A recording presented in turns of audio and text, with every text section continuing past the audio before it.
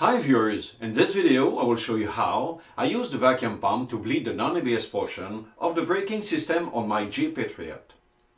To begin, the vehicle was parked on an even surface and ready to be jacked up. Before bleeding the brakes, I used my scan tool to check if there was any ABS trouble codes stored in the system.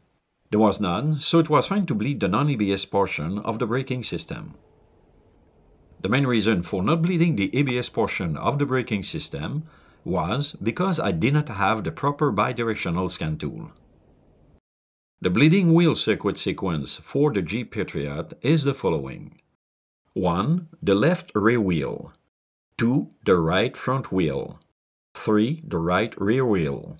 4. The left front wheel. For basic safety, I positioned the four-wheel chocks to secure the wheels located on the opposite side of any wheel that was removed. On top of that, to make the working area safer, I used more than one jack stand to stabilize the vehicle. To be well prepared, I made sure to have multiple 8mm tools to undo the bleeder screws. I also had plenty of DOT 3 brake fluid. This fluid is dangerous, so it's important to follow the instructions written in the owner's manual and on the label of the brake fluid bottle. Normally I prefer to work with a helper that pumps the brake pedal, but I was alone on that day. That's why I use my vacuum pump to bleed the brakes. In theory, bleeding the brakes with a vacuum pump seems easy as shown. The vehicle is safely jacked up. The wheel is removed the lid of the fluid reservoir is loosened to check the level and to let the air in. A pan is placed on the floor under the bleeder screw. The vacuum bleeding kit is installed and connected to the bleeder screw. A basic vacuum is applied with the pump. Then, using an 8mm wrench, the bleeder screw is opened. The vacuum can be kept between 15 and 25 inches of mercury while the brake fluid is pumped out of the braking system. During the procedure, the jar is kept higher than the bleeder screw to siphon out the brake fluid and the air bubbles from the system. When around two-thirds and three-quarters of the jar is filled up with brake fluid, the bleeder screw is closed. Then the vacuum is released. Without vacuum, it's easy to unscrew the lid, then empty the jar.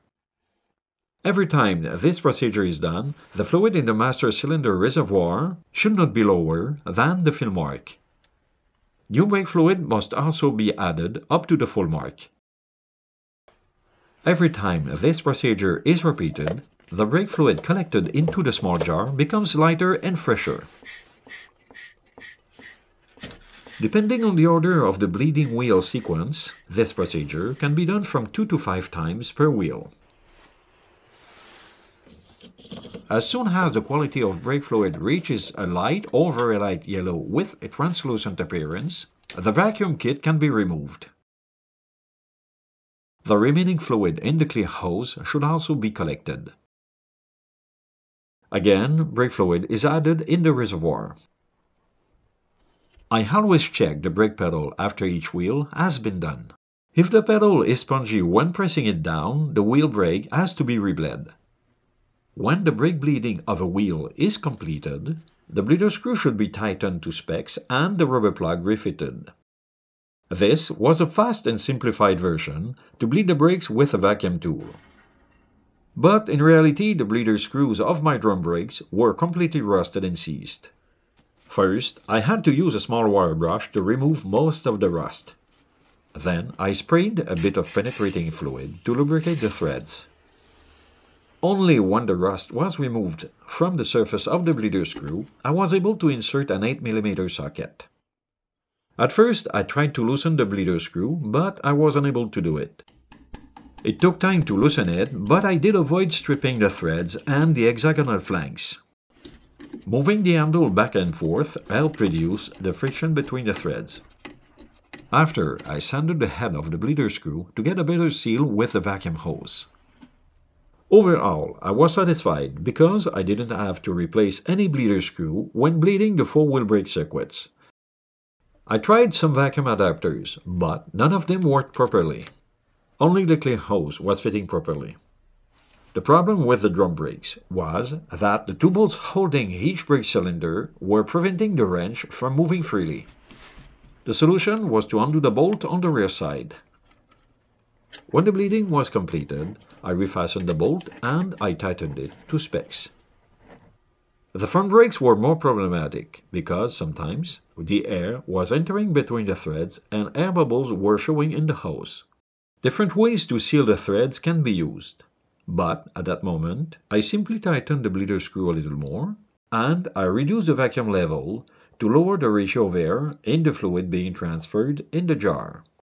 As long as there is a constant vacuum applied when the jar is higher than the bleeder screw, the air going through the threads or around the head of the bleeder screw doesn't get in the braking system.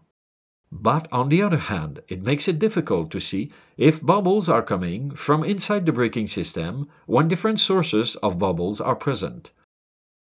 At the beginning of the job, I always use more brake fluid to bleed the first wheel, because the fluid in the master cylinder reservoir has to be renewed. As reference, I had to bleed around 16 ounces of brake fluid when I worked on the first brake. But when I bled the last brake, I only needed around 4 ounces. Later, when the brake bleeding job was completed, I did a road test. I tried the brakes in different road conditions and they worked properly. Once back home, I washed the vacuum kit components. First, I removed most of the fluid with a rag.